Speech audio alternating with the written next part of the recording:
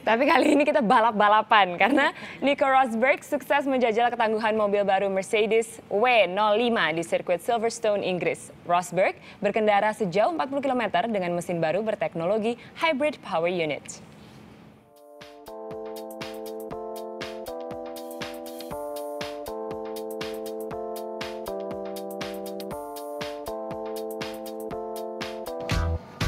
Tim Formula 1 Mercedes telah meluncurkan mobil baru mereka untuk musim 2014 pada uji coba 28 Januari di Jerez, Spanyol.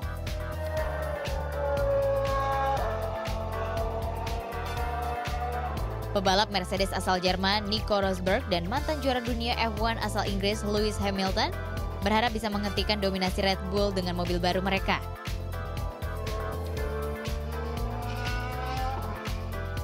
Musim lalu Mercedes berada di posisi kedua di bawah Red Bull dalam juara tim konstruksi terbaik Formula 1. 24 Januari Rosberg dipercaya sebagai pebalap pertama untuk menjajal secara tertutup ketangguhan Mercedes W05 sepanjang 40 km di Silverstone. Selanjutnya musim F1 2014 akan dimulai 16 Maret di Melbourne.